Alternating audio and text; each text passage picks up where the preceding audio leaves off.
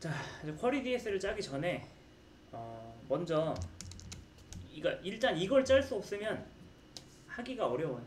그러니까 이거 그러니까 이 SQL을 내가 못 만든다. 그럼 쿼리 DS를 당연히 못 하겠죠. 일단 요거부터 한번 해보겠습니다.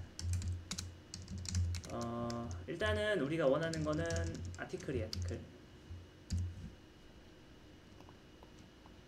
아티클인데, 자, 또 여기서 저는 A로 하겠습니다. 그러니까 이 쿼리가 나와야 돼요, 여러분. 자연스럽게 아니더라도 어떻게든 짤 수 있어야 돼요. 키워드가 딱 주어졌다. 어, 그럼 할 수 있어야 되죠. 자, 그 다음에 키워드는 어디 들어있어요? 키워드죠. 어, K라고 했습니다. 어, where K. 콘텐츠는 뭐라 할까요? 자바. 좋아요. 그러면은 이 키워드 번호는 뭐죠? 아, 1번이군요. 그러면은 이제 이 아티클과 키워드 사이에 존재하는 게 뭐예요?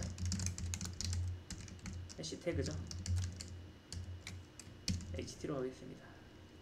HT. 자, 그러니까 음, 이거죠. 자, 얘와 얘와 얘가 새가 새로 얻겨야 돼. 결국 얘를 얻고 싶은데 얘랑 관계 있는 건 얘고 얘랑 관계 있는 건 얘죠. 이게 다 조인하면 되는 거예요. 네. 자, 이런 일단 이런 쿼리가 여기 1단계라고 보시면 되겠습니다.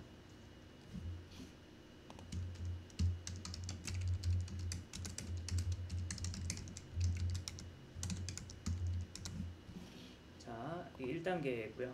2단계를 가볼게요. 2단계.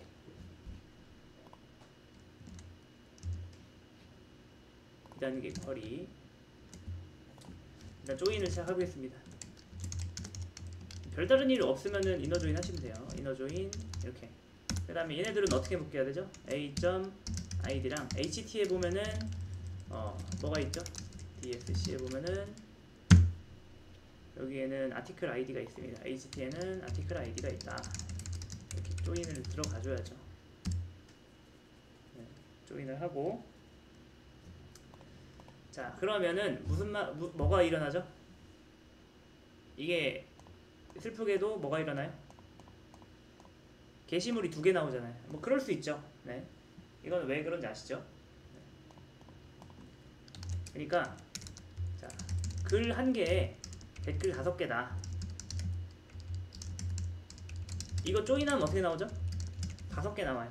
뭐 이게 다, 당연한 거죠. 예를 들어서 어, 이 글에 댓글이 다섯 개가 있어요. 그러니까 전체 글이 딱 한 개밖에 없는데 그 글에 댓글이 다섯 개다. 이거 조인하면은 결과가 다섯 개 나오죠. 다섯 쌍이 나오니까 뭐 그건 상관없는데 우리는 결과적으로 만약에 게시물 리스트라면은 게시물 글을 보여주려고 하는 거다. 그러면은 이제 이때 보통 사용하는 게 뭐예요? GROUP BY죠.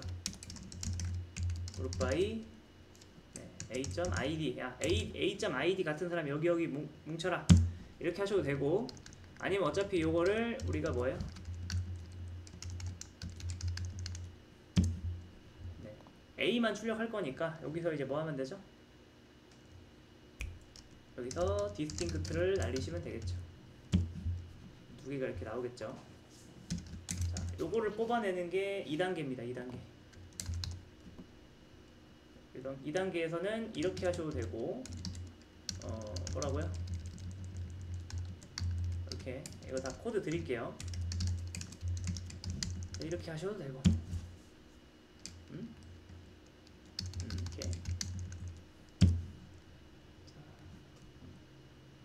그러면 3단계로 가보겠습니다. 3단계. 3단계. 그러면 마지막 하나 빠진 조각. 저는 그냥 DISTINCT 들어갈게요. 마지막 하나에 빠진 조각은 뭘까요? INNER JOIN keyword K. 그 다음에 얘는 또 뭐랑 연결돼 있죠? 키워드 아이디는 HT의 키워드 아이디. 이렇게. 그러면 이제 드디어 뭘 쓸 수 있어요? K. 콘텐츠가 뭐다? 어, 자바인 거야. 자바랑 관련돼 있는 거 다 갖고 와봐. 그러면은 뭐 프로그래밍이랑 관련돼 있는 거 다 갖고 와봐. 아 나오죠. HTML이랑 관련된 거 이렇게 나오죠. 자, 요게 3단계고요. 3단계. 어, 그 다음에 3단계에는 변형이 있습니다. 변형. 여러분 이게 중요해요. 잘 보세요. 어차피 여러분 이너 조인으로 묶었잖아요. 그러면은 어, 얘 얘네들 간의 순서를 바꿀 수가 있어요. 그게 상관이 없다는 뜻이에요. 그게 무슨 말이냐면은 자 일단 여기에 3단계고 4단계는 더 발전된 코드는 아닌데 약간 다른 형태로 가볼게요. 예를 들어서 자 어차피 이너 조인이잖아요. 이너 조인이면 얘들 바꿀 수 있어요. 키워드를 맨 여기다 넣을 수 있을까요? 왜 안 되겠어요? 당연히 가능하죠. 가능합니다. 네. 키워드를 여기다 넣을 수 있어요. 그러면은 키워드 다음에 뭐가 나와야 돼요? 아티클이 나와야겠죠. 가 아니구나. 아티클이 나오면 안 되고. 네. 상관없어요. 키워드가 나오면은 먼저 나오면은 키워드를 중심으로 해서 뭘 얻을 수 있죠?